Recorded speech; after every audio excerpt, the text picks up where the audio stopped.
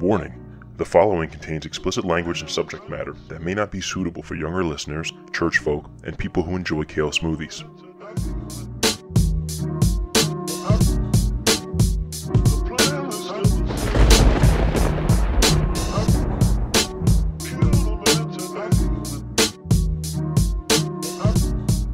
Ladies and gentlemen, welcome back to A Pod Amongst Men. I'm your host, Steve B., and this is Coffee Break Conversations for the 21st Century. So, my guest today is Amiri Israel. You might know him from Instagram on Show Thyself a Man. He's one of the hosts of Black Dad's Creatives, Black Dad Creatives. There's no S in dad there. Uh, you can find that on YouTube. But uh, it's a show about being a dad, being a, a black dad, being in the creative field, you know, whether you're a content creator, whether you're an artist, anything like that. Uh, he's a solid guy. He's a stand-up guy, and he's been advocating for for real fathers to step up to the forefront and really, you know, be the positive example that that we need in these days. So this is my conversation with him. Uh, here it is.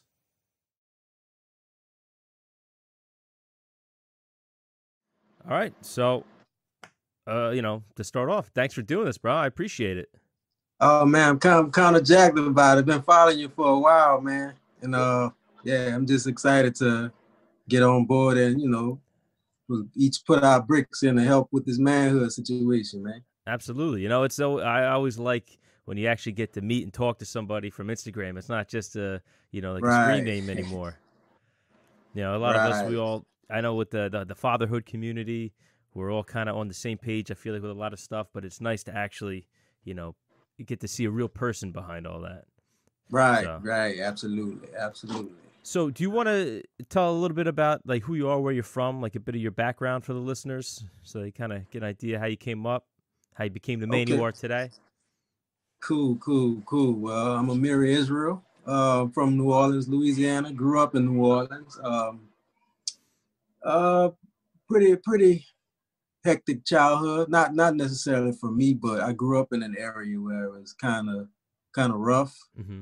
Uh, for anybody that's familiar with New Orleans, I grew up in the Holly Grove area uptown, so they'll they'll know exactly what I mean by that. But uh, um, I'm just blessed to have parents that that that kept me out of that, kept me away from all the all the, the craziness, and uh, that that attributed a lot to what I what I have going on now as a parent. Uh, just you know, not not necessarily being strict, but just being intuitive, just paying attention to everything that goes on in my my my kids' life. You know. Okay. And uh,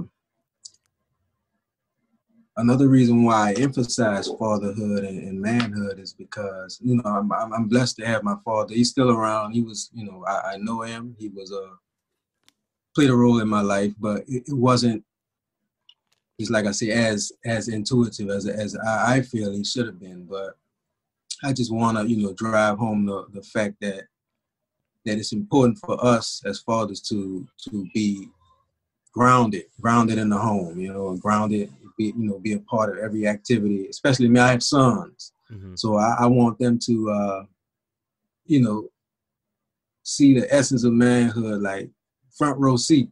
Yeah. So, but how, uh, how many sons do you have? three sons, three oh, sons wow. and, a, and, a, baby girl. So wow, that's beautiful. Yeah, yeah, I got a little squad going on. How old? So my oldest is 10. We have 10, 8, 5, and the baby girl is 2. But you got yeah. your hands full. yep, I knew that was coming. That's what people say. Oh, yeah. But uh, yeah, you know, you know, just to uh continue a little bit about my upbringing and where I'm from, and you know, I um you know, it's important that we also show the good side of, of, of, fatherhood and manhood. You know, we, we we are portrayed in the media so much as you know not not being stand up men or stand up fathers. So mm-hmm. that that's just my goal. And I I, uh, I also am a photographer and filmmaker. So okay, that's that's that's my whole goal is to paint a picture on manhood and fatherhood with, with any any activities or any projects that I have that I'm that I'm involved in. So and it's pretty much about me, man.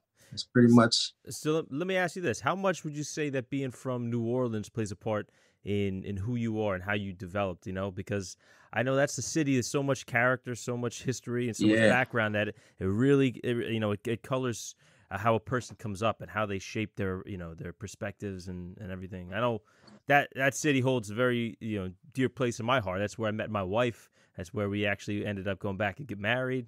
So I always have a, a real strong affinity and connection to the city.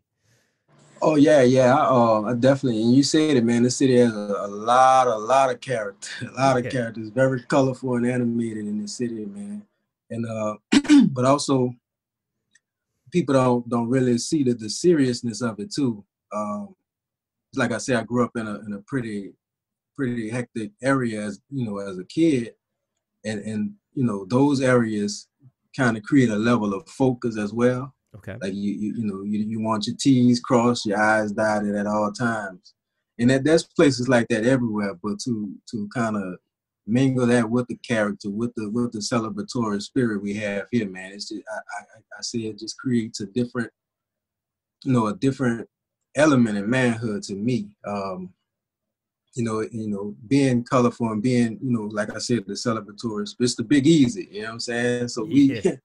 we it, it, makes it kind of easy to uh like have fun with family or just you know be be uh, animated and celebrated with your family and your kids so it, it's it's a lot it's levels man it's, i can go on and on about that man it's you you know you know how it is i know it's it's a city you know, it's it's very conducive to joyfulness. I found, but you know, obviously there's mm-hmm. people that can go overboard with that, and you see yeah, that, especially yeah. with the tourism there. It's it could go off the deep end real easily, but when if you can kind of manage those, you know, natural inclinations to to party, and it's a beautiful city, and there's so much you know love and happiness I found there.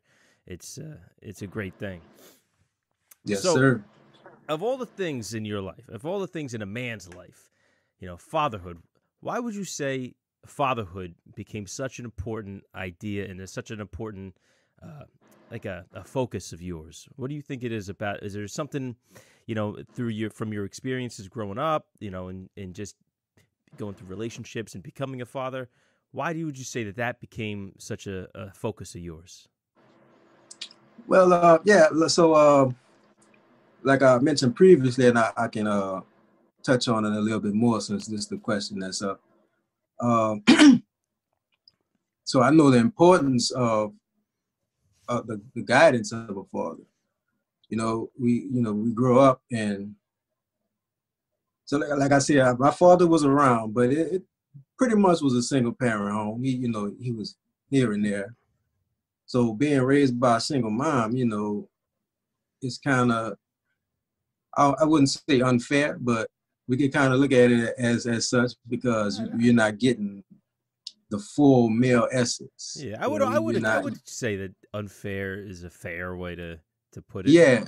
It's it's a yeah. lot of, it's a lot to put on a woman's shoulders, you know, especially raising yeah. a boy. Yes, sir. Yes, sir. And I, I can I can I can even say for both parties because the the uh, the, the son and the mother because you know we need those male figures around Absolutely. you know and to to guide us because we we can't just happen upon being a man yeah you know you, you have to actually learn those things and and as i got older i, I saw a lot of i guess you could say flaws or, or just you know things that I, I i wasn't prepared for going going into the world you know as a man so I just made a, a vow like, man, like, I'm I'm gonna make sure my sons get everything that they need to the to the best of my ability. Mm-hmm. And uh, yeah, that's pretty much it, man. And to to my father's credit, you know, I've also learned that you know I, he may have traumas too. He may have he may have not been raised appropriately or you know to the max. So yeah. he, he, only was able to give me all that he could give me. So yeah, if he started off at a deficit, it's it's hard for him yeah. to pass down what he doesn't already have. Right, right, right. So it's not a grudge at all. You know, me and my, mm-hmm. my father have a, a, a, wonderful relationship today. But I just saw, I just saw, you know, I just realized that, yeah, there, there were some things that I, I, I could have learned. And there, there were male figures in my life, but it's nothing like pops. You know what I'm saying? It's yeah. nothing like learning from pops, your, your, your blood. So, but, you know, we, we talk and uh, I've come to find out he actually learned more from me now than he was able, you know, able to give me just just simply because he didn't know it or he wasn't trained. So mm-hmm.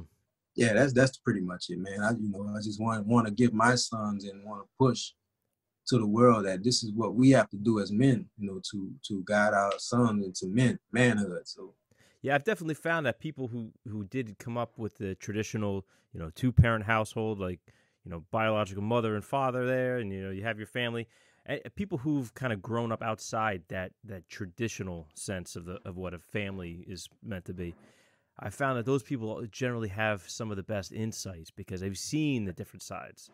Like for me, I right. my parents split up when I was three, and my mother remarried. My father remarried a few times, so I kind of got like a full view of like all the ways it could go, the ways it can go bad, the ways it can go good. So, and I was lucky enough that I had a stepfather that was, you know, he was he was a stand up guy. You know, he may have. Uh, right. We, I don't think we had the same interests when I was young. Like he didn't. I don't think he really got me, but he was always there. He was always a good guy. He's always, you know, that that stable figure, and I think that that really uh, affected the way I view fatherhood because now I'm a stepdad, and it, you know, it, I want to be for my son everything that my stepdad was and more. I want to try to build on on right. what I got from him. So for me, that was always a big thing because fatherhood is such a like once you become a father, when you're responsible for a, another human being, that becomes such an important part of your life. It's a major thing, you know. And I would I would argue that for a time it, it feels bigger than being a husband. Uh, you know, like it's it's not that it's more important, but it's just different, and it, it takes up more of your your focus and energy. You know what I mean? I think that's actually why yeah, a lot of yeah, people being a being a husband yeah. yeah, being a husband plays a uh, plays a major role in that too. You want them to see that that that healthy marriage and relationship as well. Mm-hmm. I know uh, someone asked me a long time ago what what advice would I have for you know like uh, fatherhood tips or parenting tips, and I, I simply said, well, I couldn't actually think of nothing because it's sort of the, the list goes on and on. Yeah. So I just said, well, you know, just be just be being a good husband, you know what I'm saying? Mm-hmm. Because th- there's a lot that goes in the husbandry as well. Husbandry is management, taking care of, of everybody, not just your wife. So yeah, just just using that as an example can pretty much touch all the all the areas that that fatherhood, husband, you know what I'm saying? Yeah, absolutely. Managing the house. So yeah, yeah, well, just being a, being a good husband. It's a tricky thing too because you know you see it a lot. People they have kids and they get so caught up in being parents that they forget to be husband and wife. You know, they've yeah, that relationship right, kind of right. gets stale after a while because they haven't worked on it. They haven't done anything. They don't go out anymore, and it's that that balancing act because both are extremely important, and you kind of can't right. Have, you can't really do one right without the other, if that makes sense. Right. You're absolutely right.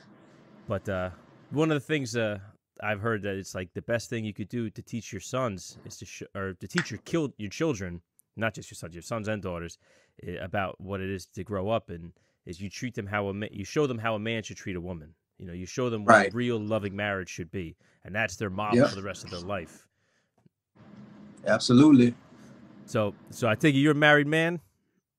Yes, sir. Yes, sir. Going on ten years. Ah, that's a beautiful thing. Yes, How, sir. Yes, sir. You guys have been 10 years together, 10 years married? Uh, 10 years together, eight years married. How did you guys meet? Uh, well, just like you, and I met my wife in New Orleans, of course. But we we both New Orleans natives, and uh, so we, we were always in the same areas. Uh, had the had the same friends were moved around in the same circles, but just so happened that we would always kind of hit and miss. Mm-hmm. So I guess it was like my my my Timing wife was never being, right.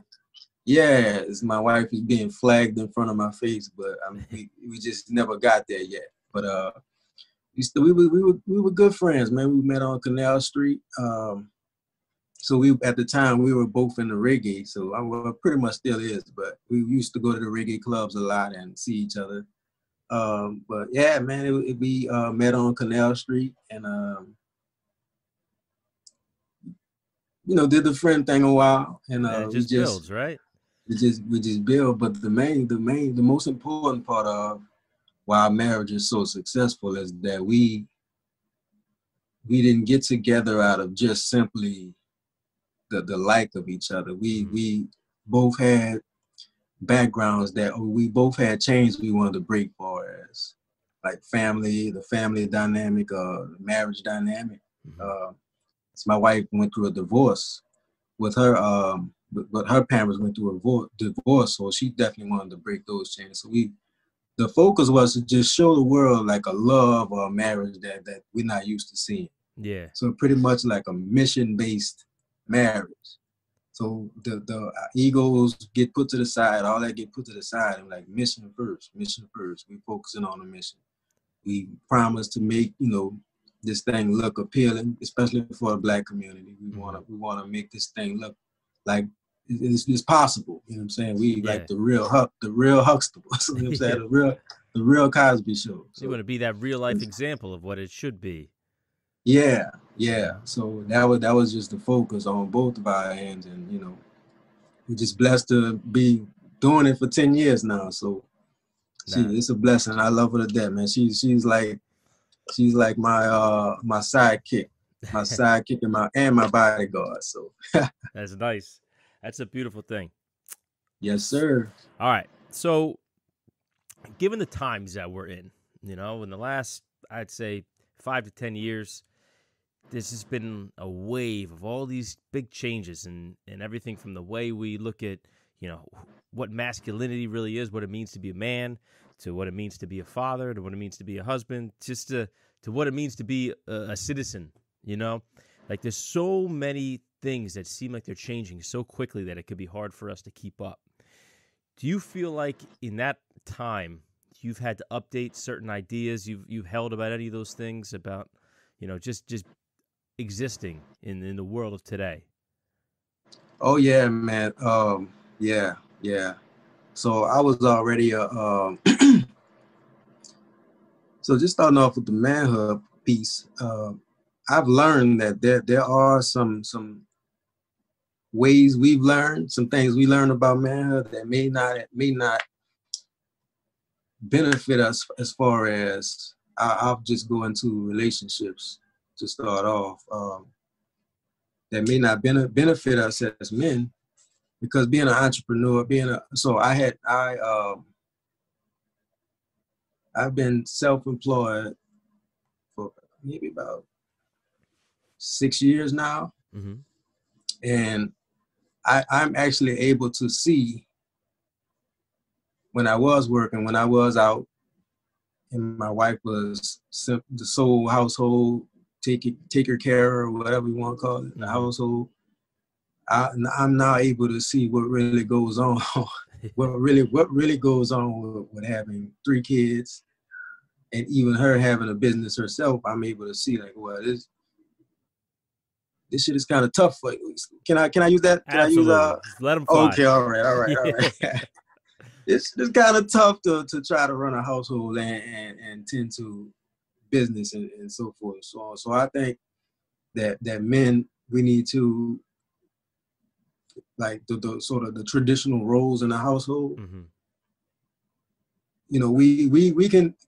I feel I, I have grown to learn that we can you know help out in certain areas. Yeah, those don't to, have to be to, set in stone. You know. Yeah, yeah, and, and not only to for for health reasons, but to to keep peace in the home because a Absolutely. lot of a lot of times when when our wives are upset with us and they you know be slamming shit, knocking shit, and trying to figure out what's wrong, what's wrong. Yeah. It's because you you're not paying attention to things, other things that need to be done mm-hmm. in in a home, and, and you know. It, I, it's fair because a lot of times my wife won't goes on business trips or whatever. We both likewise.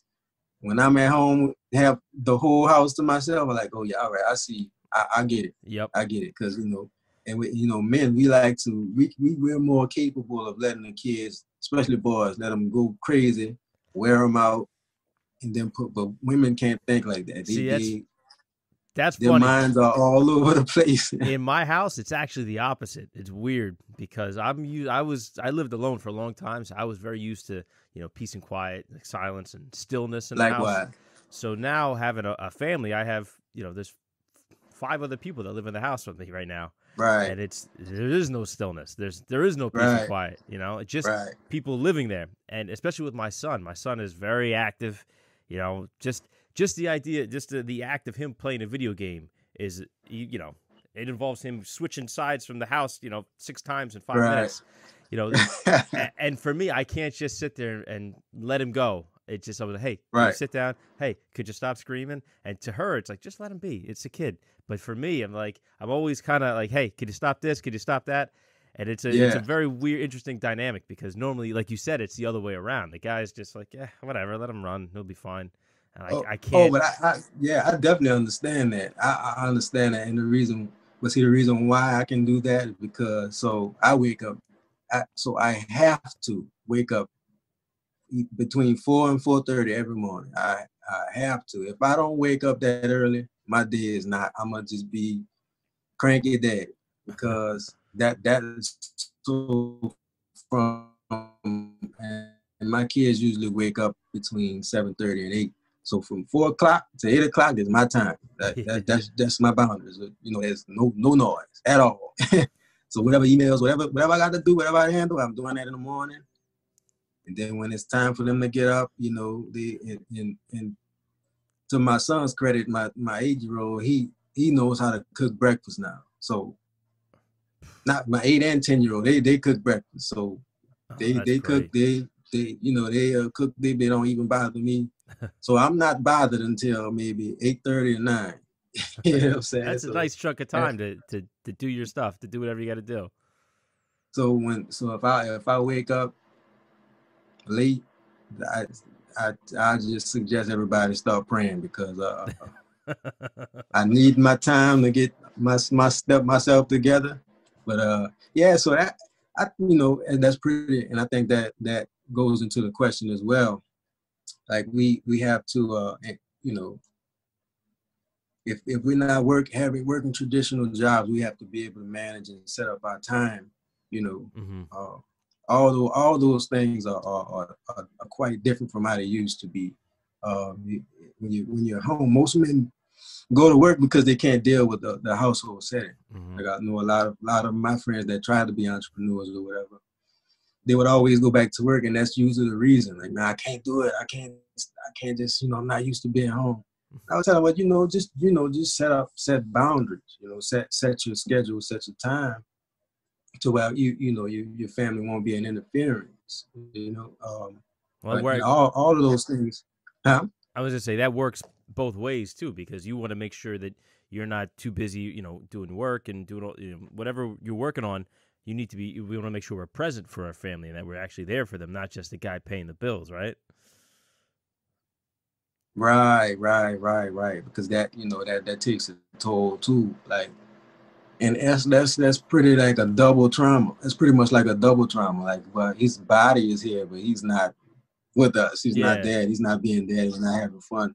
So it's and, and so it's kind of like, well, if, at least if he wasn't here, we wouldn't see him not being attentive. You know. Yeah. Um, but yeah, that you know that too, and just uh, you know, men, we have to get acquainted with with paying attention. You know, women like to talk. You know, you know, and just just uh, so any women that's listening, please forgive me if I say this when I say this, but you, you don't you don't you don't even have to listen to everything. Uh, just pick up on the key points. Just make sure that you are, are attentive. You know, Mhm. and please do not offer. Don't don't just offer. If, if a woman's talking about something, if your wife is talking, and she's going rambling, and rambling, and rambling. Do not just jump into Mr. Fix It mode yes. offer her the solution, or offer her the, the option. Or would you like me to help you with this, or, or what?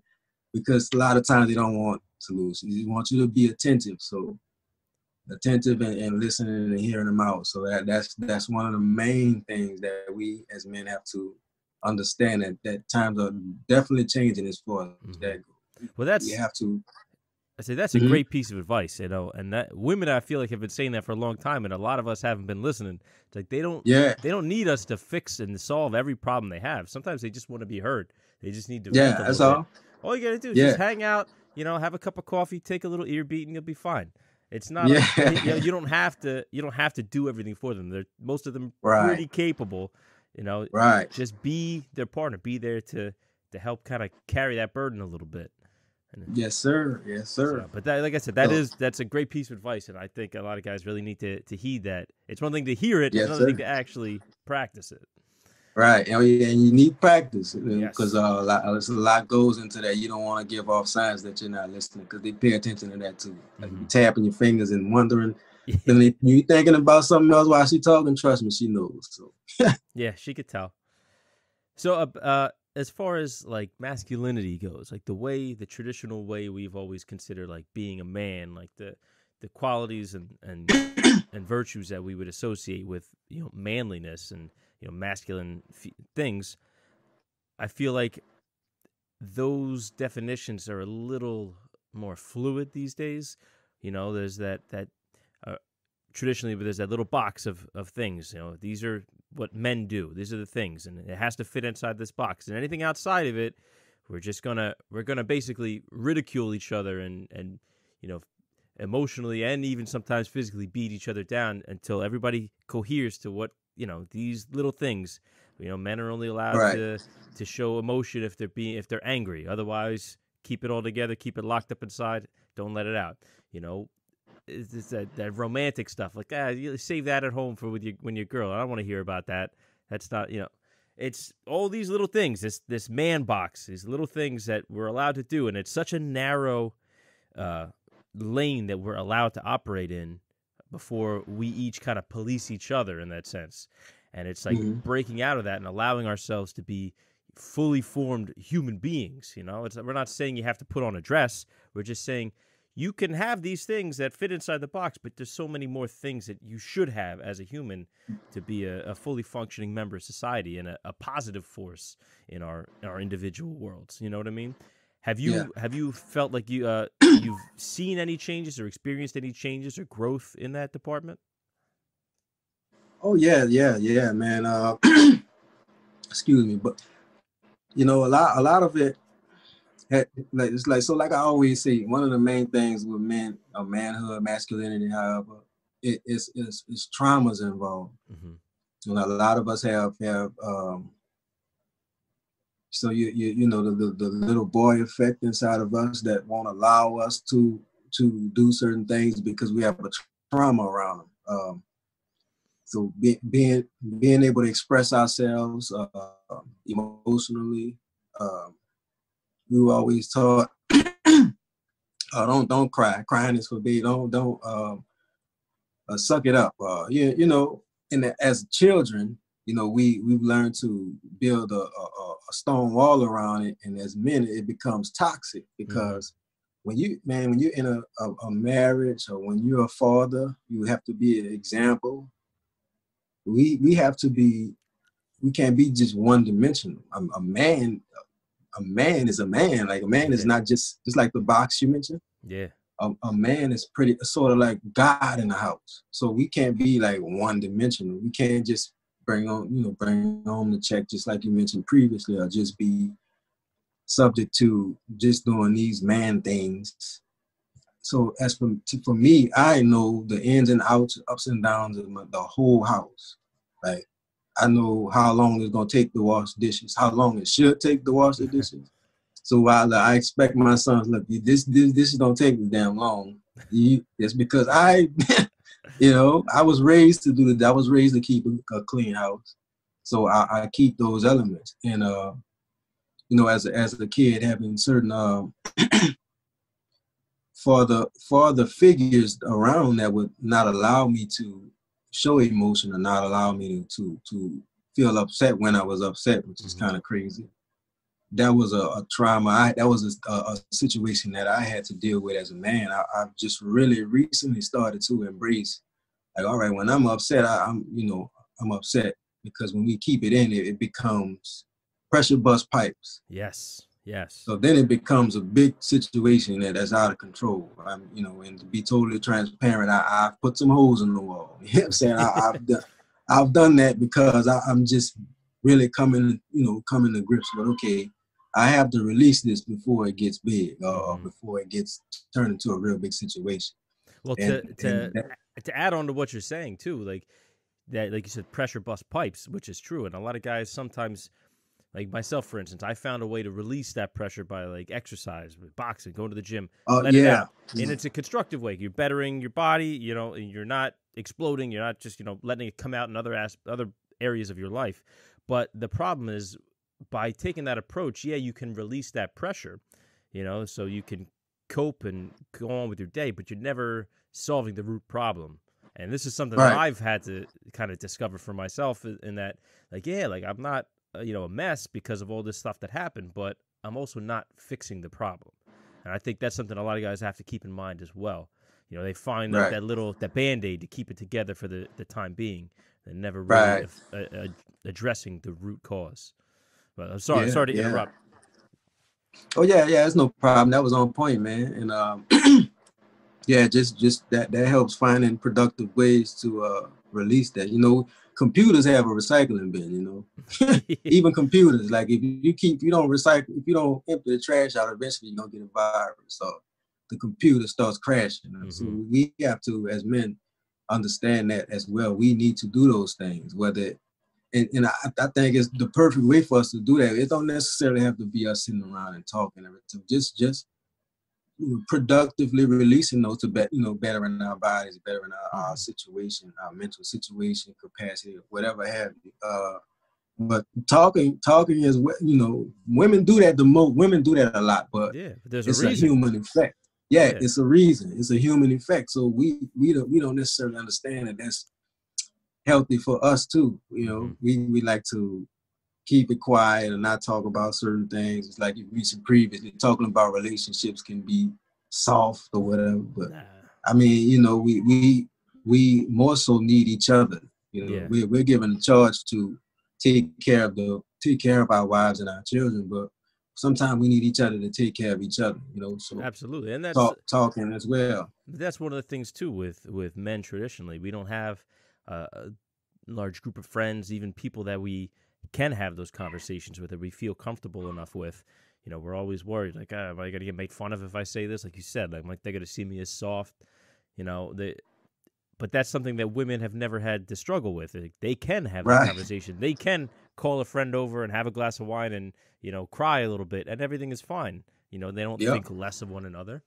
But uh, as men, you know, I'm not saying we need to sit around and, and cry all the time, but right, right, right. we, we should be able to have real conversations about what we're going through because everybody's going through something, whether you whether you want to admit it or not. You know, we're all fighting our own battles, whether they be in secret or right out in the open. But we we all have our struggles, and we need to be able to talk about that because as human beings, we're we're a social animal. You know, we we live in groups and tribes. That we need to be able to to communicate those things and express them. Sometimes just just hearing the words come out of your mouth can be enough to to make you feel a little better right there on the spot. You know, right? And absolutely. We, and we need to allow ourselves the space to do that, and not, you know, basically bully each other into submission. So just shut up, keep it in. You know, we don't want to hear that. Right. The Saints are on. Right. You know, relax. Okay, have another day. Right. Talk to your therapist. We don't want to right. be those guys, but those, you know, that's what I mean. Like about with masculinity evolving, we're taking the the pieces that serve us and we're kind of discarding we're throwing them in the recycle bin all those pieces that have been holding us back as as a as a gender essentially. You know what i mean? Yes sir. Like we don't want we yes, don't want sir. those things that have been poisoning us for generations and creating trauma from you know that's, that's passed on generationally. Like you said like with your father with my father they all had trauma and they just passed it on to us because there was no there's no recourse. What are you what are you supposed to do you know, in those days it was even worse. Like now, like me and you were sitting here having this conversation, you know, from opposite sides of the country, but we could have yep. a legit conversation about emotions and feelings and stuff, and not not come off as being soft. We're actually trying to to fix stuff. We are. Yeah, we're trying to. Yeah, we're playing yeah. Mr. Fixer right now, right? You know what I'm saying? Well, we're what what what each other. We can appreciate fixing. Absolutely. Yeah. And our fathers but, but never you know, had that. And just when, when you when you mention generational just just think of how it was in the days of when when when it when when when tribes used to sit around the fire. Mm-hmm. You know what I'm saying? And you had great grandfather, grandfather, father, sons, brothers, uncles, all in a circle, and whatever whatever that just think of all that wisdom. You know what I'm saying? And, and, and when it what when it wasn't traumas, when it wasn't toxic, when when when it was just generational to pass knowledge down to each other. You know, that so they knew the importance of sitting around a fire and talking. You mm-hmm. know, just sharing knowledge, sharing. So if you, the grandson is going through one thing, oh, so it's not one man that won't get his question answered because you got great grandpa, you got grandpa, all that, all those years of experience and knowledge and wisdom, mm-hmm. all sitting at the fire. Maybe they do this like once, like every two weeks or every month. So it's a reoccurring theme to where we traumas won't even build up because we have this space we can go to. Mm-hmm. That okay, we know I'll get some advice from my dad. I'll get some advice from my grandfathers. You know, so yeah, stuff absolutely. like that. So, like the like the the ritual style, you know, in, in, initiation. That that's one thing that we're missing as men. We we don't have initiation. We don't have rituals that we have like like manhood camping trips. We don't have that as much. Yeah. As far as the family is based. So yeah, all that all that plays a major part. You know. Definitely. And, one of the one of the things too, as times have changed, like like you said, in those days when there were those those rituals or even like rites of passage, like yeah, yeah, you know, people weren't as spread out as they are now. So one of the reasons, one of the things right. now, you know, I, I live across the country from my parents, so I don't get to see them. You know, I don't have right. my whole family lives in the same neighborhood like it used to be back in the days yeah. when we were young. So things have changed so much, and we don't have maybe that that generational connection. Mm-hmm. And one of the other things I think is really interesting that a lot of people kind of breeze by is that some of these these traditional ideas of manhood, you know, they were formed over years and, and generations, and they yeah. a lot of times, you know, they're hundreds of years old, even possibly, and those were created. Uh, they were, you know, uh, uh to serve the men of those times. Like that was it could have been the difference of life and death like some of those things yeah. and some of those things have gotten carried on and in the world of today you know we still practice them but they really have no no real world purpose you know right so, and those are the things i mean where we need to to let go of the things that don't serve us anymore because you know the whole idea is the man comes home he sits down at the table and the wife brings food out and that's that's how this works you know that right. maybe that worked back then but that's not the world we live in today you know. Oh, most certainly. And we're we're going in with a, with one hand tied behind our back into the world, thinking that that's the way it should be. When everybody else is like, hmm, nah, that's that's not 2020, buddy. you need to get with the time right. a little bit. And it's not it's not bad right. for us. It's not it's not us losing power. And if that's if that's the way some guys feel about it, I think they're misinformed. But you know, whatever. That's just us optimizing ourselves. You know, we want to be the best right. we could be. We don't want to be the old model. We're the upgraded model. You know, evolve, man. Absolutely, evolve. evolve or repeat. We're either gonna grow or we're gonna keep making the same mistakes over and over again. Yes, sir. Yes, sir.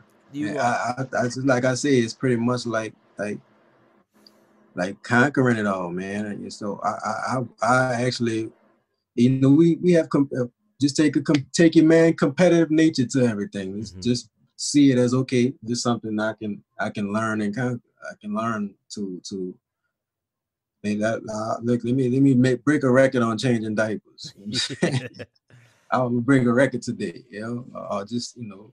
But that's not a bad like idea. That. Sometimes you just uh, like a practical approach like that that could yeah. actually have a positive result.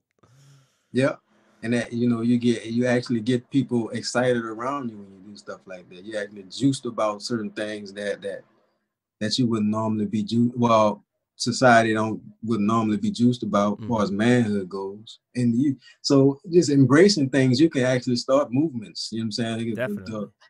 The, the, the, the, the baby diaper challenge. you know what I'm saying? you can start stuff. You can start movements. You can get people on your team with it. So it's just it's just about being positive about it all. And I, and I guess that's in, insecurities as well. I don't have no look. I, I know I'm a man. Mm-hmm. You know what I'm saying? If, if, this needs to be handled right now, I'm, I'm gonna just do it. You know what I'm saying? I'm gonna do whatever, you know. If, if something needs to be built, I'm gonna do it. Baby needs to be changed, I'm gonna do it. Dishes, I don't I can't stand to see dirty dishes. I mean, I was raised that way. Mm-hmm. I'm gonna do it. you know, so I, I spend a lot of my time outside and I build things. You know, I build just recently built an activity center for my son. My oh, sons, they want to be YouTubers, so we we trying to set up a Yeah, but, right there with know, you. I, you know, so I mean, the same I, thing. Yeah, yeah, and I, I, encourage that too. You know, you know that that's that's another example of how the world is changing. You know, yeah. we just, you know, my my sons will, will be outside with me when I'm drilling and sawing. Then it's time to go. Now I wanna. He want my my oldest wants to be a, a, a scientist. He's into science.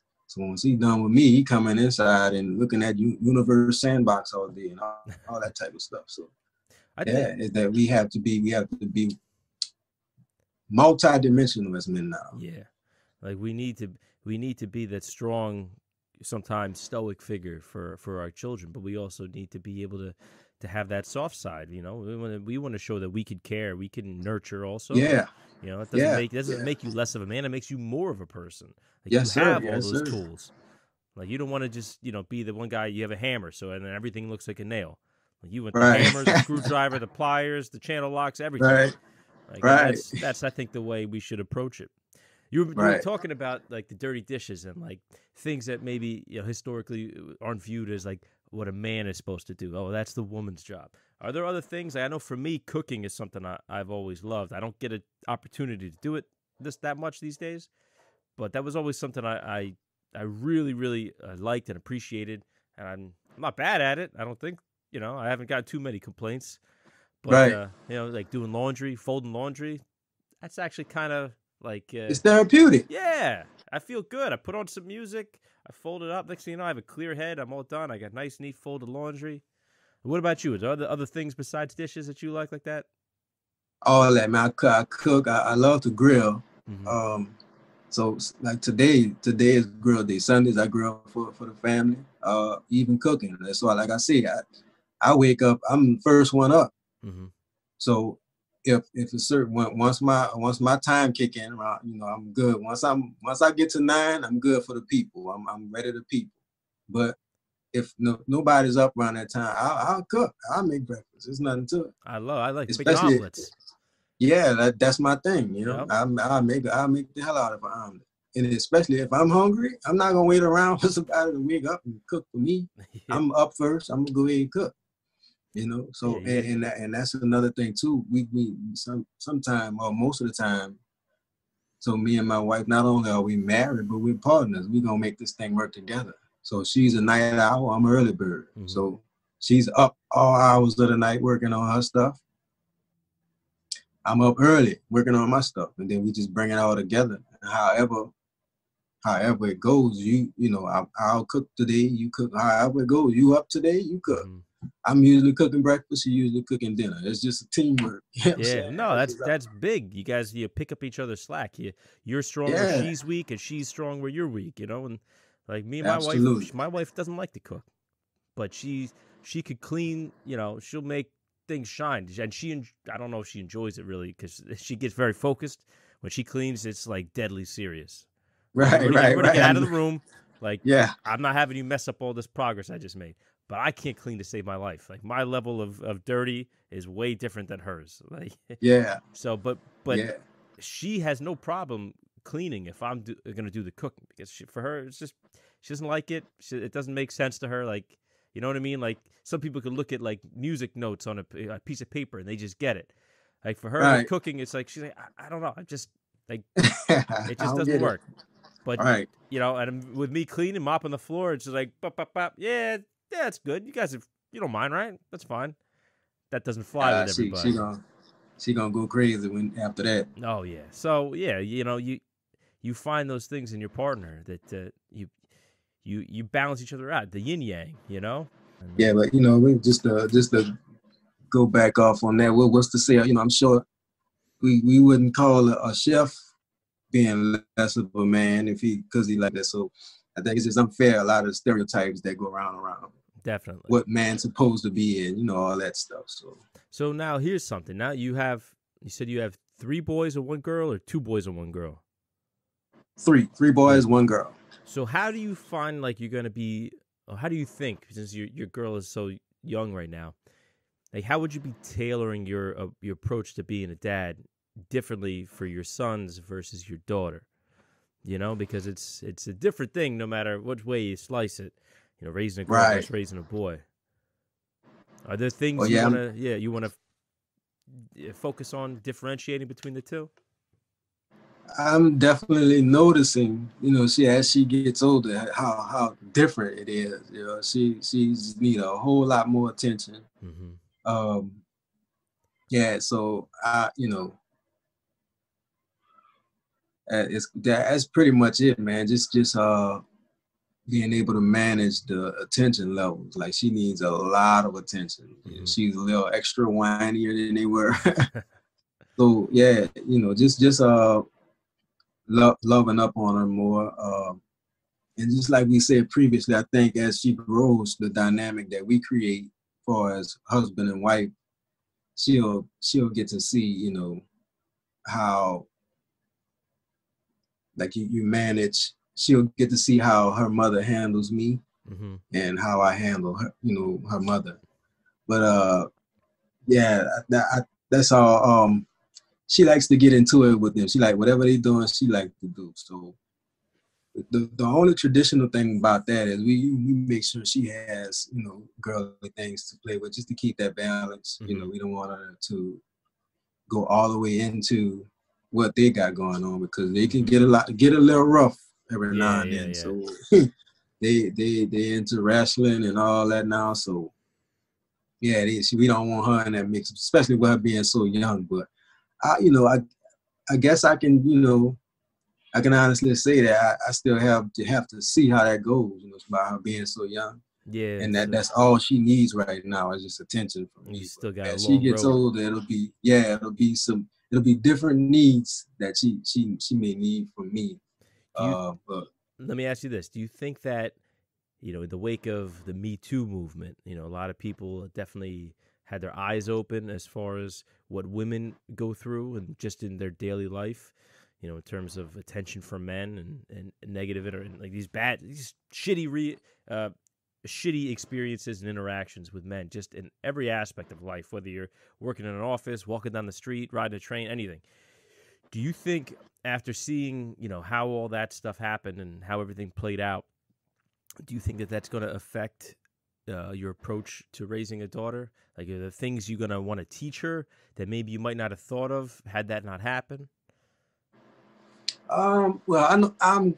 I think that uh, the Me Too movement brought a lot of attention to what goes on with women. You know, um, like the, the the respect levels that that we haven't necessarily been the respect we haven't been given them Mhm. over the years. I think that that definitely brought attention to it.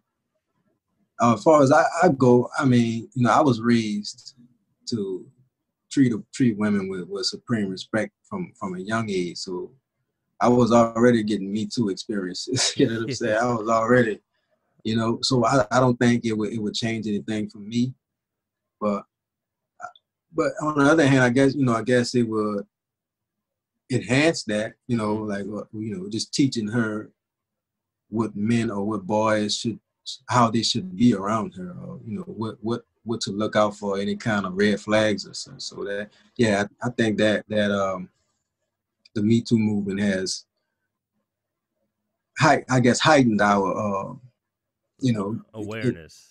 awareness or you know ability to teach our, our daughters what to look out for. Yeah, I- yeah, I, I, I agree that that that has a has a little bit to do with it. But like I said, I um You were already with it. so yeah, I was I was already there. I was already there. Yeah, know, I, I that- that- feel I feel like that kind of exposed the the the gaping holes in a lot of people's parenting structures where you know they teach them all about you know XYZ but something like that with with relationships with how a man should should treat a woman and as far as you know dating like even when it comes to sex and stuff like that those are all kind of uncomfortable topics for a lot of people and a lot of people just kind of avoided them and then you're left with people who you know when something happened to them their first reaction may not have been to to report it and to to address those it's they kind of just internalize it and live with it and now it, you know it's it affects it shapes their life forever after that and then you Yeah, have you know yeah. they come out years later and say you know this happened to me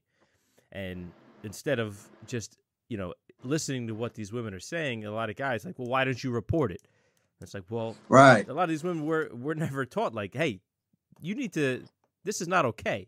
You know, you need to Yeah. have the Eh, the agency to to say like if something like this happens, this has to be addressed. And you know, I think that that really illuminated a lot of the the shortcomings in the way we we've been raising and teaching our daughters and and sons historically. And that was for me, that was a yeah, big yeah, that, that's yeah, that's very important. Now that you mention it, because I even just like I mentioned, I we I was pretty much raised with with Me Too women because there were instances where those situations has happened in my family, and uh, so my my my parents, they they even taught us how, how the difference between changing the diapers of a of a girl and a boy. You know, Mhm. you, you, you, there is a difference, in, in even with that. So, like you know, just respecting their areas, their private parts, or you know, all that all that stuff, and um, just to, and just thinking about that. That, that may have been a some type of a supreme level of learning for me because there are quite there, there are a lot of people that don't even know just that type of stuff. Yeah. So, you know, and I think I think it, it, I, I would like to encourage men to to even think about that, man. Especially with raising daughters, that the women haven't been taught those things. They they haven't been taught, you know, what what inappropriate is. Mhm. They they haven't, you know, in whatever situation may have happened, they were told to hush about it, or you know, don't don't say nothing, or if you say something, you might get in trouble. So there's traumas around that too. So it just so it's just so embedded in them that if things happen to them, then it's just- just like a even subconscious. Like yeah, I want I just won't say nothing because Just suck it up and then have to Yeah, live with it. Yeah, Just but you carrying know, that around those- for years. Yeah, and then that's very unhealthy, man. Very unhealthy for for them going into relationships, and it's just a bunch of things, man, that's Mhm. going on with men and women, and that's that just need to be addressed, and, and it all it all starts with us listening to them, Yes. and I, I'm big on that too.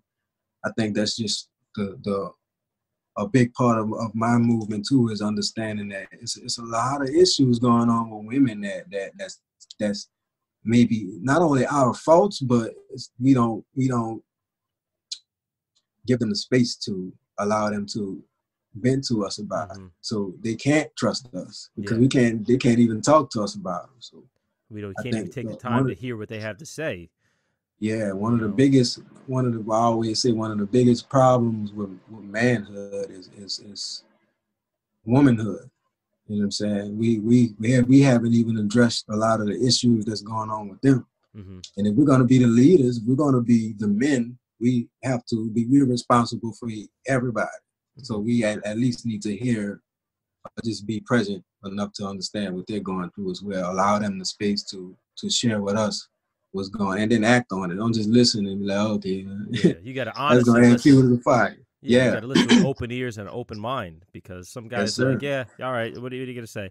And as soon as they start talking, and then it's the mind shuts down. You know, Yep. it's like, well, that's you're not really listening. Then you're not giving that Yeah, person a fair chance. you're not. to- Yeah, you- you're not even hearing the problem. Yeah. Well, that's the problem I think we have all throughout life is we don't want to face these, you know, these ugly realities about what's really going on. It's easier to just brush it all under the rug, which is like, you know, with these Me Too incidents with, you know, sexual abuse for years, people, uh, no, that, that didn't, ha- couldn't have happened, you know, because it's, Right. it's too hard to, to face it. Like, oh my God, like this terrible thing happened. And, you know, they, they can't even, the brain can't process it. So it's easier just Right. you know, you're you're making this up. And Yeah. that you know, that causes even more problems and that causes things to fester. And it's Yep. you know, and it, but that's like you said, some we gotta take out the trash. We gotta we gotta drag and drop those things. It doesn't Yep. serve us to have that right on the desktop anymore, you know? Like we need to we need to even if it's uncomfortable, we need to have those conversations and, and get rid of those things that have been, you know, basically poisoning us for for generations. Most Um, certainly. one of the things about too with, with masculinity, you know, we hear this term toxic masculinity, and I feel like there's such there's such confusion because I feel like there's a lot of people who kind of use that term as a catch-all phrase. Like they think, oh, well, they, they think just being a man is toxic. Uh, You know, that's they think that just us existing is is a bad thing. I'm like you're no, you're twisting it. It's not what it is. We're just we're talking about these those things from the box, that man box. Yeah. those things that we've been holding on to for all these years that don't really serve us anymore. They don't really serve anybody. We just do it because we've been programmed and conditioned to do it. Like those are the things that we consider toxic masculinity because we've always associated them with masculinity and they are Right. toxic. That doesn't mean masculinity is toxic, being a man is toxic. We're just talking about those parts that don't serve us anymore that have been like we said poisoning us and poisoning those around us. Like those Yeah. are the things we need to get rid of. Like do you have you ever had this this kind of back and forth with people because I feel like in this space that we're in like, you know, men trying to evolve, there's a lot of guys that are like actively fighting to just Yeah, the they they, they holding on. They, Yeah. they they still trying to hold on. I man, I've been I've been called simp. I've been called. I've been. I don't care. I don't care though, because it's evolve or die. It's Mhm. evolve or die, man. And it's just it's just, especially realizing just just look at. So so women are doing a lot in the world today. So they they not only should we realize that we should get on their team because that's all they want. The women don't really want to fight us. They don't want to fight against us. They don't want to oppose us. They just they're just tired of us not. You know what I'm saying? They're just Yeah. tired of us not listening, not paying attention, not helping out, not uh, including them. They just want to be a part of the part of the game. So they just like, you know what, the hell with it. We're gonna do our stuff, and that's that's where all this come from. They Mhm. they're tired of it, and they just doing this stuff. But they still, if we were to be like, you know what, we gonna, I'm gonna manage you since you doing this, and just even for men that's that's not that that get maybe, well, not maybe they they get. What's the word I'm looking for? Um, damn it, I hate when this happens. it happens to the best of us. But like you know, when the ego kicks in, and the, the woman may be doing more than me, and. I, now I'm now I'm in my feelings or whatever. yeah. That that woman still can use a manager, and Mhm. and there's no better manager than a man. But Yeah. a man with with his mind right. Well, I like- mean, that's the first three letters in manager, man. You know what I'm saying? And- well, like you said, not that ego, that ego fucks with us, you know? the ego. Like we don't like to not take that leadership role. We like to be in the driver's seat.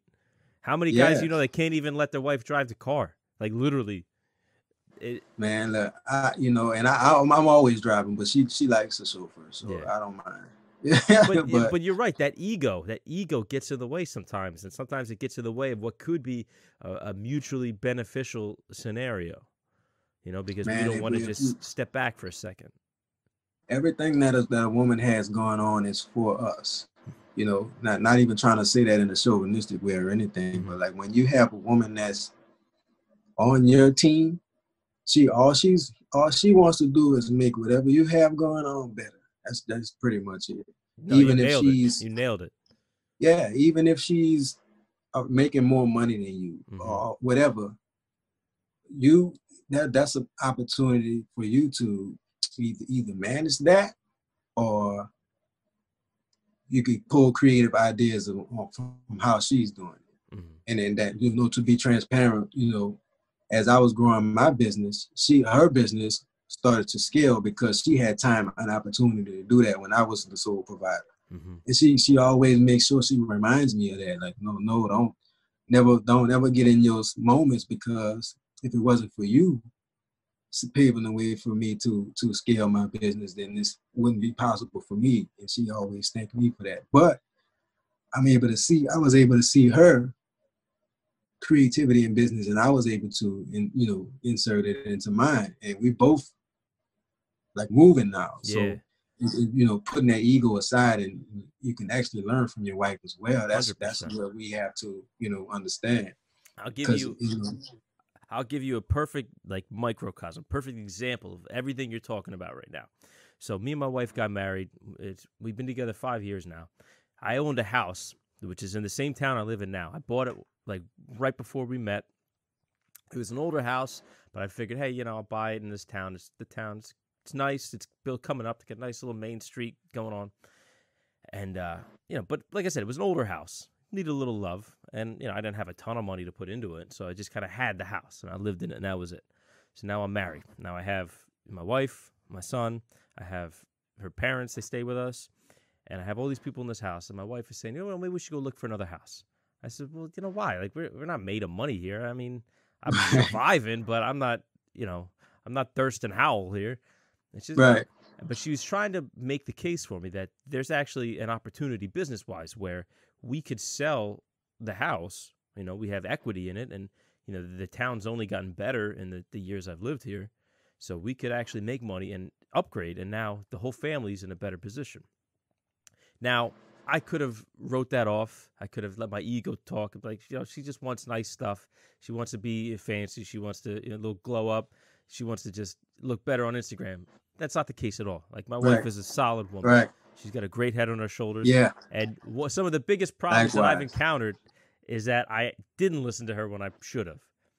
So, right, right. So what we ended up doing, I right, took her exactly. advice. We started looking for houses. We put ours on the market. We sold the house at a huge profit, not having, you know, even though I didn't have any money to put into the house, just the fact that the town has, has grown in the few years I've been here, like we were able to make huge, huge advancements for the whole family because of her idea. You know, the whole Yep. reason I'm sitting in a studio right now is because she had that idea and didn't let me be a douchebag essentially and just write it off. Didn't let you sink the ship. Yep. Yeah. So, but and that's, I feel like that's such a perfect example. I she, she Yeah. did the same thing just yesterday. I got rid. Of, I had a car that I was paying a ton of money on, and you know, needed work. I drove. I drive it a lot. I drive back and forth to Jersey City every day. It's you know, it's a lot of wear and tear on a car, and I've had this car forever. And I had a big loan, and then she's like, "Why don't you just take? Well, why don't we go to the dealership and see if they'll take it, and you could get something new instead of putting the money in to repair it." Uh, you know, I don't want to sit there deal with these guys trying to sell. Yeah, that is a pain in the ass. Yeah, man. you know what, though? We went in. It- Now I have a brand new car in front of my house right now, and I'm paying like a hundred dollars less a month because of her idea. So it's just man, we, we have to realize, man, and so not not saying to take every bit of advice from you, but don't don't like don't just be like, what you think, what you think, what you think, because yeah, that you're still a leader. But if it makes sense, if it makes absolutely sense, there's nothing wrong. you have to have There's nothing open ears, wrong. right? You have to have that, you know, and as this is this is a good this is a good uh, uh, subject we're on right now because I, I don't think that gets talked about enough. Mhm. Like man, you, you know, our wives have some good ideas, man. We you know, in order to, and it's like any any any managers or any owners or whatever, you have a you have a team that you you don't think of everything yourself. You have somebody that you got marketing execs, you got this, you got the CEO, COO, CFO, you have people. So if we if we, we gonna make a successful family, you basically run it as your business. And, and your, your, your, your second in command is your wife. And she has wonderful ideas. Women are very smart, especially with women women with hair on their shoulders. So we, we definitely have to pay attention. It's uh, it reminds me of a great quote I heard, interestingly enough, from the movie My Big Fat Greek Wedding. So the mother Uh, I never saw it. she said, she said, listen, if men are the head of the family, women are the neck. yep, What good is that head going to do without the neck? absolutely. Absolutely. I think that's that's perfectly fitting right here. Absolutely, and and also too, man. Another uh, quote I, I've heard is men men are not necessarily even. So at, as far as building wise, building a house, we are the foundation, and so the foundation is not even at the top; it's, it's at the bottom, and, and it holds everything else together. So pretty much the foundation. You can't build a house without the foundation, but Mhm. everything that goes in. That's why women like to be home decorators, and you know, Yeah. we set the foundation and be able to allow them to do that, then everything else would be good for everybody. Absolutely. know? There's a lot more to a house than just the foundation. Nobody Yeah. wants to just live in just a basement, you know. Right. so, you know, we're, Yeah. we're coming up on uh, on time here, but we got a, we got some a little bit left. I want to ask you more about your platform. You know, you you got you have a show coming up. You want to tell the listeners about what that is and what the the goals of it is, like your mission statement almost.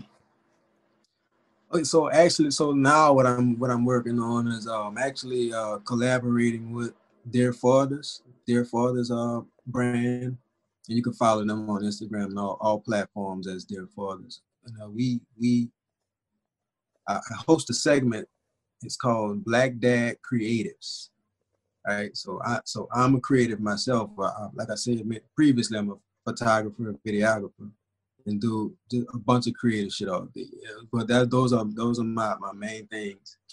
And uh, as far as my platform, my brand, show thyself a man, it, it it's all tied into that fatherhood, husbandry, uh, just manhood in general.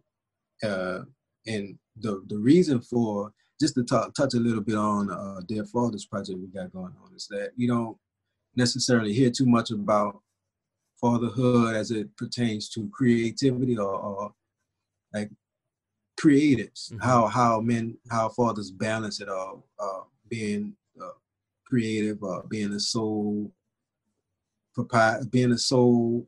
Um, I, I don't know why I'm getting tongue tied. Um, just having it all on them, being the, the boss of their own stuff, mm-hmm. and being a father as well. Being like how, how, they, how they manage. Yeah, being the, not even not even not, not even necessarily the, the sole breadwinner, but like just business wise. Okay. If you're a photographer, musician, photographer, uh, videographer, filmmaker, such, how you're able to manage being a father along with that, whether it may, may be successfully or even sharing tips on how you get over the humps into being successful as a creative.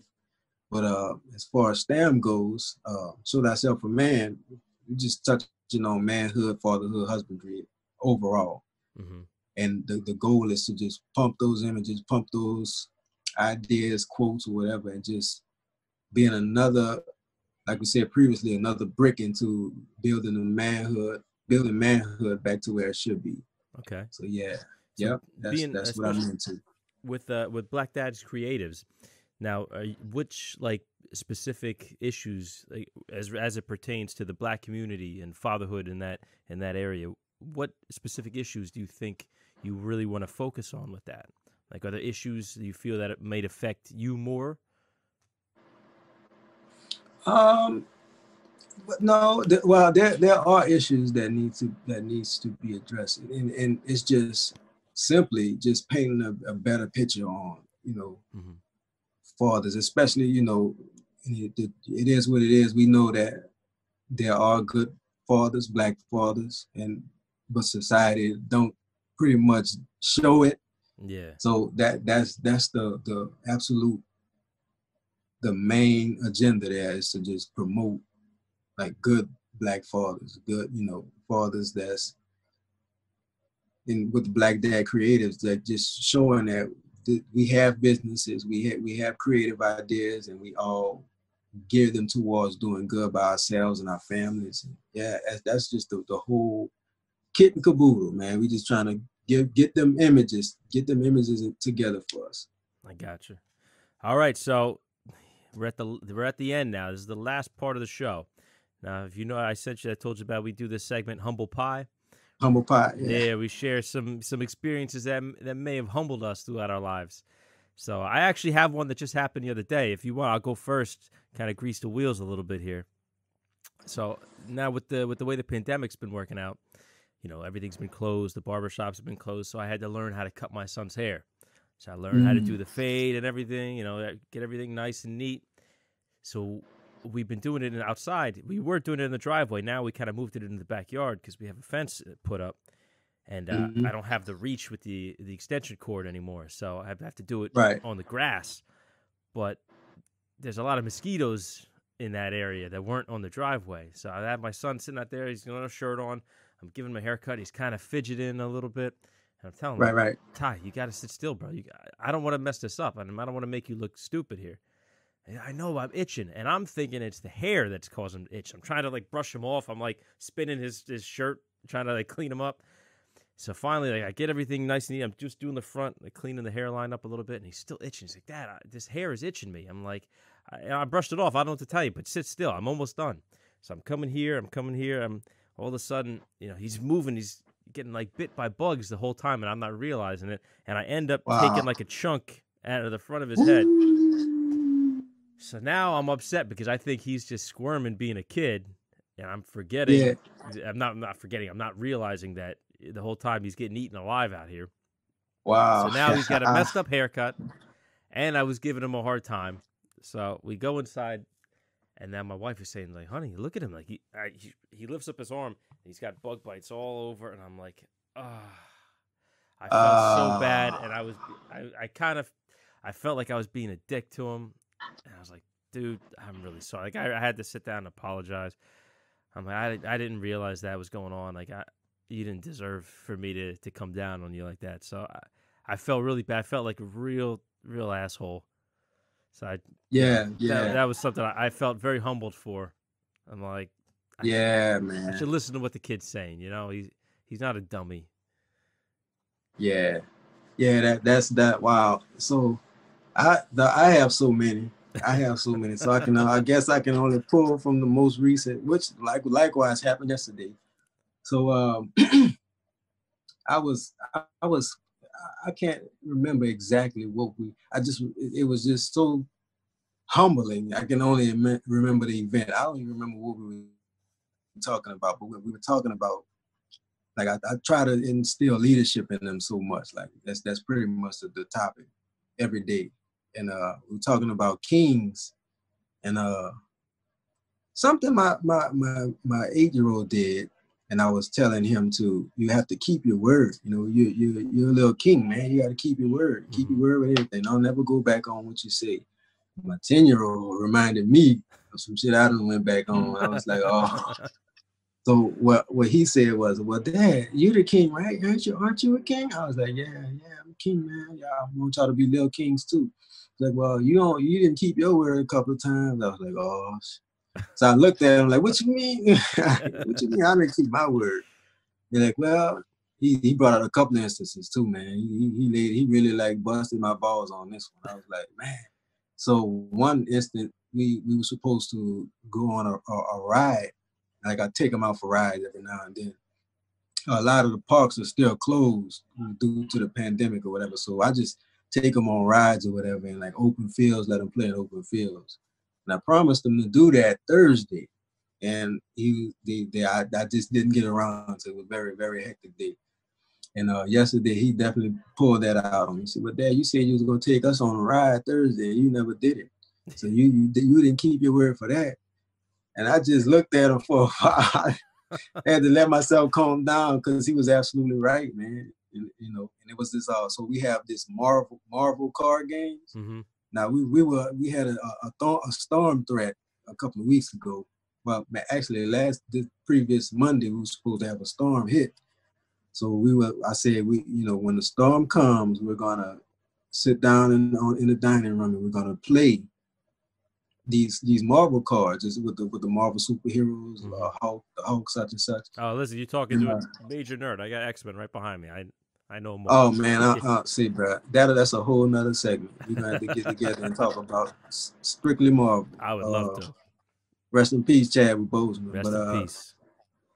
We, you know, we were supposed to do that, and uh, he said, also, we didn't play the card game like you said. I said, well, the storm didn't come. He said, well, it'd have been better if we'd have played it.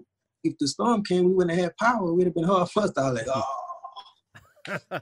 like, you know what? Next week, we're going to dedicate the next next week to all that we were supposed to do. So yeah. I, I just have to bite the bullet and do it. Aren't they you know, funny? It's not like a that? problem. I just huh? Aren't they funny like that? They, oh, oh, look at you, Mr. Memory over here. All of a sudden, you remember everything I did all wrong. Was, you can't remember yeah, to put your shoes yeah. on before you leave the house, right? Right, right, right, right, right. You can't remember to chew before you swallow. Yeah, man.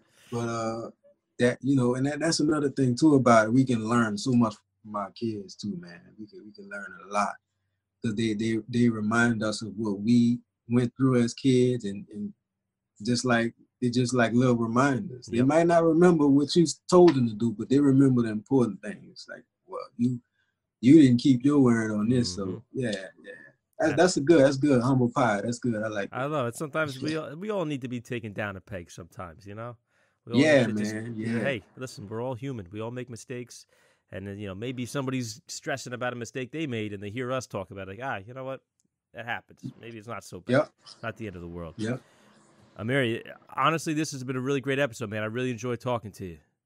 Oh man, I definitely appreciate you reaching out, man. I've been a fan, man. I've been following. We, we all you. fans of each other, man. Definitely. I, I, definitely. I, definitely, appreciate what you got going on over there, man. I'm trying. Glad trying to be a part of it. Definitely. I'm just trying to do the right thing, man. I, I want to have like-minded people.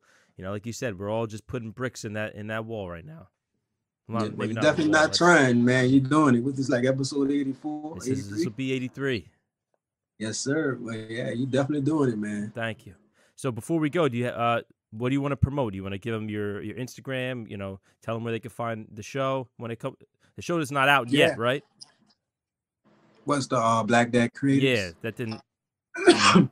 Excuse me. So, so we have one episode out. Okay. Already, and then you can check that out on YouTube. Uh, Black Dad Creatives. Um, just simply Black Dad Creatives. You can find the episodes on there. Uh, I think the next episode drops next Saturday okay. or the Saturday coming um, and Black Dad Creatives on Instagram. Uh, it's a platform. Uh, no, Dear Fathers. I'm sorry, Dear mm-hmm. Fathers on Instagram. Uh, it's the platform where I do do the show, mm-hmm. the segments, um, and they all based on strictly fatherhood. You know, just uh, showing decent images, good images of father, dads, uh, men being fathers. Um, yeah. Also, my platform, uh, Show Thyself a Man uh, the acronym STAM, STAM. Uh, you can find that on YouTube as well. I actually have a couple episodes on YouTube as well. Show Thyself a Man and on Instagram, Show Thyself a Man. Every, everywhere, all hand, all, all hand, uh, excuse me, the same handle everywhere on all platforms. Nice, nice and easy for everyone. I'll make sure I put the links on the page so they can see it. Yes, sir. And that's it, my dude. We're all done. That was a great one, man. Yes, sir. That was fun. Yeah, man, that, that was good. That was good talking. Man. Be careful. I'm, I'm going to take you up on uh, coming back when we do the nerd episode we talk about all the man, Marvel what, stuff. I'm ready. We could do that tomorrow. I'm just kidding.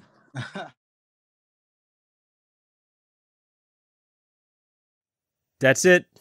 That was my conversation with Amiri Israel. Big thanks to him. I really enjoyed that, and uh, definitely uh, I would stay on the lookout for in the future. We might do a nerd episode because you know I love those.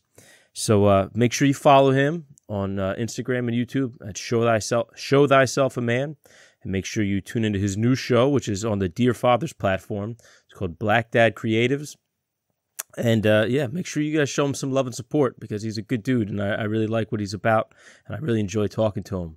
Oh, and also make sure you DM me so you can buy a sticker. We're selling stickers now. I told you guys. I warned you. I told you. It's coming. There might be a little bit of merch. I don't have shirts and hoodies yet. I know I'm not the three ninjas. What can I say? But uh, this is just step one, and this is a way for me to help kind of fund the podcast. Because as you guys know, this shit ain't free. It costs money. Figure at least you know a three dollar sticker. You DM me, you can send the money, Cash App, Venmo, whatever. I'll mail it out to you straight away. And at least you guys get something. You know, you show support. It's a way for us to kind of brand a little bit. You know, you're not just sending us money for nothing. Uh, you know, you're actually getting something in return. But do it. You know, it helps me. Maybe you have somewhere, maybe you guys work in construction, you wear a hard hat, boom, fits perfect on the hard hat. You know, maybe you want to put it on your car. Okay, if you want to. Whatever you want to do. Put the sticker anywhere. Put it on your wife's forehead. It doesn't matter to me. Whatever is not going to get you in trouble, obviously. You know, the forehead thing, you're probably going to have a little pushback. I'll admit it might not have been the best idea. Probably should have thought of it before I said it, but whatever. It is what it is.